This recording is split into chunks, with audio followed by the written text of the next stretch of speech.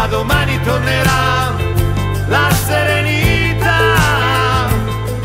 E domani non saremo liberi di voi. E domani come sa